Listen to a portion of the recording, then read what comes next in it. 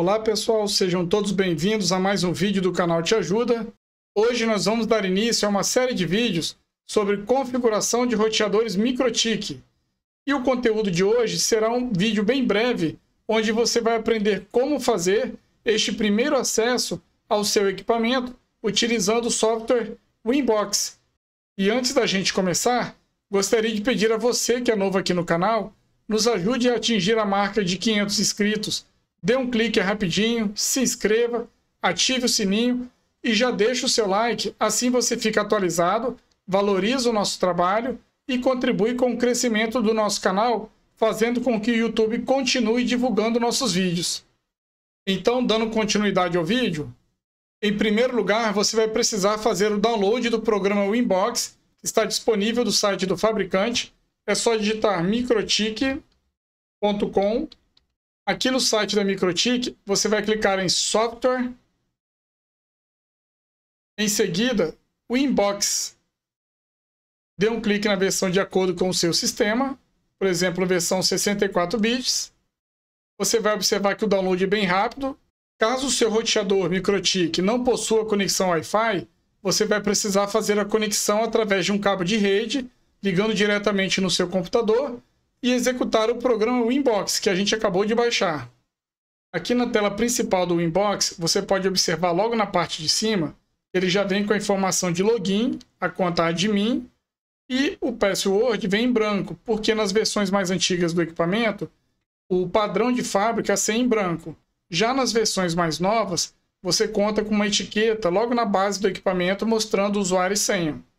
E mais abaixo, observe aqui na guia Neighbors se já está preenchida a informação do seu roteador.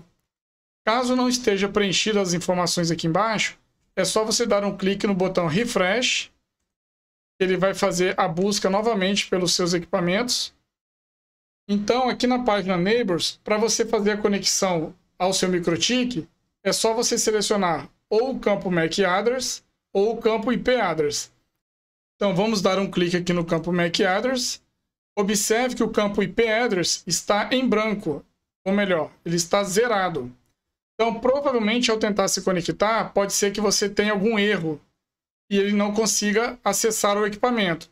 Então neste caso, a gente vai precisar fazer uma configuração de IP manual na sua placa de rede.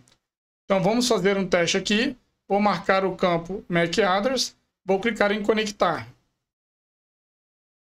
Observe que ele está tentando fazer a conexão e ele não vai conseguir passar deste ponto aqui. Ele vai ficar um tempão aqui e não vai funcionar. Então, o que, que eu vou fazer? Eu vou cancelar. Como o campo IP address está zerado, eu vou fazer o seguinte, eu vou fechar a tela do inbox. Então, nós vamos abrir o painel de controle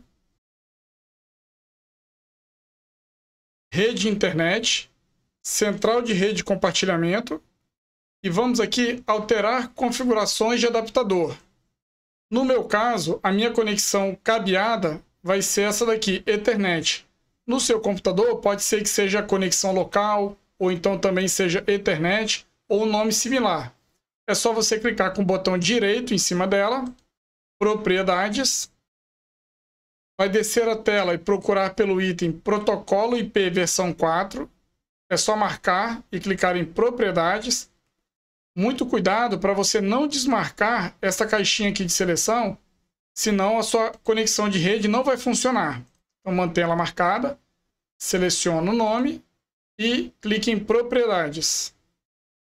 Por padrão de fábrica, o IP do roteador MikroTik ele vem como 192.168 881. Então a gente vai utilizar o IP da mesma faixa para que ele possa conseguir se comunicar.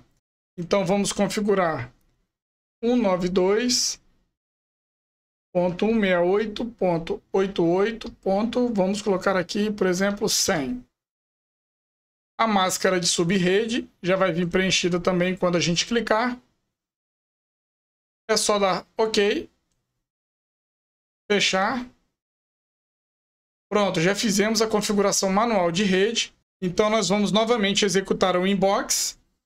Agora quando a gente marcar aqui o roteador, mesmo ele estando com IP tudo zerado, quando a gente clicar em conectar, ele vai abrir a tela do MikroTik automaticamente.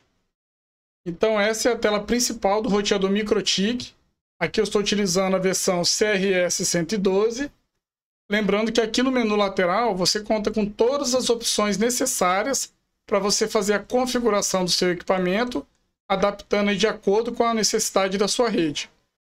E agora que vocês já viram como que é feito o acesso inicial ao roteador, é importante lembrar que a configuração manual que foi feita na rede precisa ser desfeita, senão vai impactar o acesso à sua rede particular. E para desfazer essa configuração, é só voltar lá nas propriedades da rede, clicar na placa de rede que você realizou a configuração, propriedades, voltar aqui em IPv4, propriedades, e desmarcar a opção aqui de IP manual. Deixe tudo automático. Ok. Feche todas as telas. Pronto, a configuração manual já foi desfeita. Então, pessoal, esse foi o nosso vídeo de hoje. Apenas para a gente poder ver como é feito este primeiro acesso ao roteador MikroTik, utilizando o programa Winbox. E se você quiser mais vídeos sobre MikroTik ou outros conteúdos, já aproveita e deixa aqui nos comentários a sua sugestão, que eu vou fazer o possível para preparar um conteúdo especial. E se você achou que esse conteúdo foi útil para você, não esqueça de deixar o seu like e nos ajudar a atingir a marca aí dos 500 inscritos. É só dar um clique, se inscrever e ativar o sininho. Então valeu, pessoal, e até a próxima.